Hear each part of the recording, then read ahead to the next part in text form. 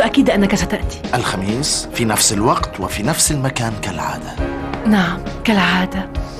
لأنك بحاجة إلي وأنا بحاجة إليك. لأننا نحب بعضنا. دائما معا. دائما. دائما.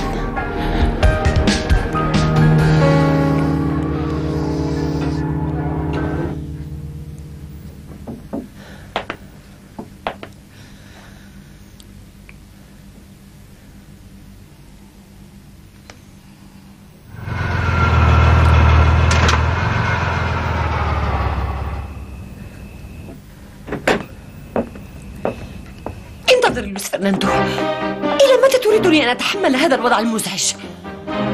لست أفهم ماريا. لكنك تسخر مني لويس فرناندو لا تظن أنني عمياء منذ مدة وأنا ألاحظ أنك تخونني. مع أنت مخطئة ماريا. حقا إذا قل لي ما أسباب خروجك الدائم ووصولك بوقت متأخر وعودتك إلى الخمرة. كان لدي ارتباطات أنهيتها. ثم ألا تفعلين أنت نفس الشيء؟ ألا تمضين نهارك في الشارع بسبب هوس المجنون؟ أنت لا تفهم ما أحسه لويس فرناندو حياتي معك أصبحت مذلة لا تطاق. أحمل بداخلي مأساة كبيرة ولا يمكن لأحد أن يلهيني عنها. أنت تبحث خارج المنزل أما عجزت عن منحه لك. ماريا أحبك أقسم لك لكن بيننا بيننا يوجد طيف ابننا. هوسك هو الذي يفرقنا. هو كالكابوس. لا تكمل ابنك قد يكون معذبا في هذه الدنيا ووصفك له أنه كالكابوس يؤذيه. ما يحتاج إليه. هو الصلوات فقط لكي يحميه الله لنا. أترين ماريا؟ أنت مجنونة؟ متى يمكن أن أفعل ضد عقل مريض؟ خلال سبع سنوات لم تردي علي وعلى حماسة لإنقاذ سعادتنا. أنت لم تشأ أن تفهم عذابي وما أعانيه. لم أشأ أن أسمعك تتكلمين. تخليت عن كل شيء معك. أعرف أن ذلك لابن أقوى مني. وأترك له الطريق مفتوحا. لكن المسلم- ابقي معه. عيشي بذكرياته. اغرقي في الجنون إن أردت. لن ألحق بك. أتفهمين؟ سأخرج أستمتع وأشرب. سأعاشر نساء لديهن دماء في عروقهن. يعرفن الضحك والحركة. شيء يختلف عن حزنك الأزلي. عن تعابيرك المعذبة التي ما عدت أتحملها.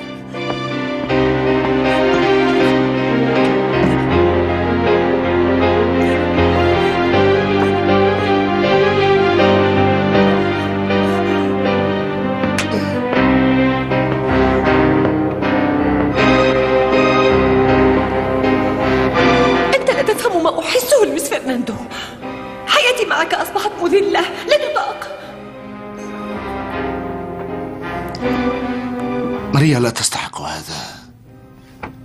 علي أن أتخلى عن بينيلوبي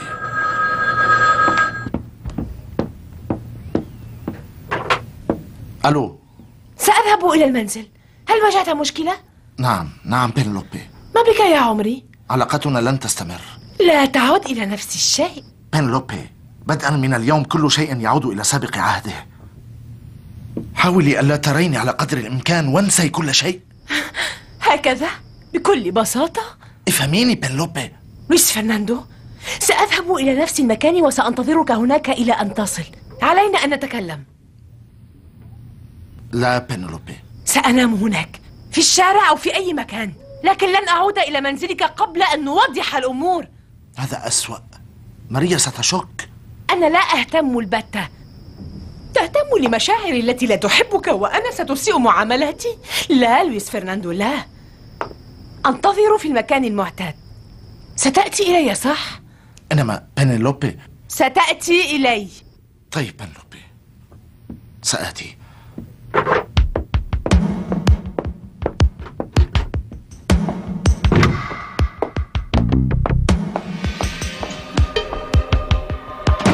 مجددا. وبالتأكيد ليرى تلك المرأة.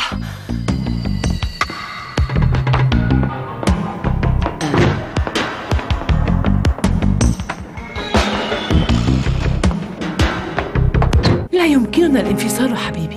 افهم ذلك. علينا أن ننفصل. ماريا تشك بوجود امرأة أخرى. وإن عرفت أنك أنت. يكفيني أن أغادر منزلك.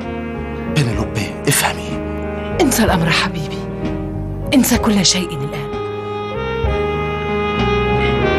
يا رحوم كل شيء تعويضا عن خطيئتي. لكن ارفع عني العذاب والعقاب. أعد ابني المفقود.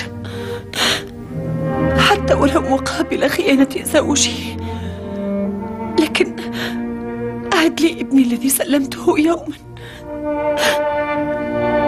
أرجوك.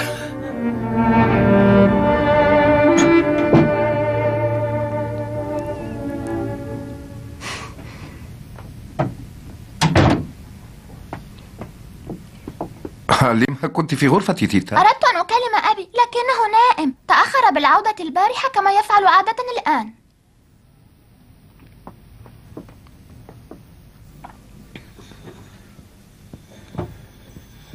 أمي أمي أمي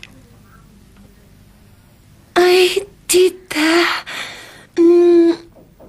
ما بك يا عمري أبي نائم في الغرفة الأخرى أي لكنه ينام هناك أحيانا. أريده أن يأخذني إلى الحديقة. آه سيأخذك لاحقا لبعض الوقت. هل تذهبين معنا أمي؟ أظنني لا أقدر تيتا نعم أعرف. عليك البحث عن الطفل الذي فقدته.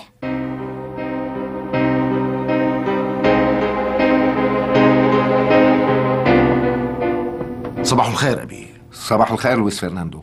انتظرك كي أكلمك. هل من مشكلة في الشركة؟ إطلاقا المشكلة هي أنت تقول ذلك بسبب ماريا صح؟ لويس فرناندو أسد لي خدمة وأخبرني ما هي علاقتك ببينيلوبي؟ من أخبرك تيتا؟ بينيلوبي اسمعي أمي لماذا بينيلوبي تقول أنك مجنونة؟ تيتا ما هذا القول؟ نعم نعم أمي تقول بينيلوبي إنك مجنونة وإنك كل يوم تخرجين بحثا عن طفل أضعته قصد بنلوبي بهذا القول. لا تهتمي لما تقوله. ليس صحيحا. حسنا. أطلب من أبي أن يأخذني إلى الحديقة. نعم يا عمري. لكن لا أريد بينيلوبي لأنني لا أحبها. لا تعاملني جيدا. تناديني غبية بغيضة وكريهة. أتعلمين شيئا؟ عندما يظنان أنني لا أراهما أبي وبينيلوبي يشبكان أيديهما كعاشقين.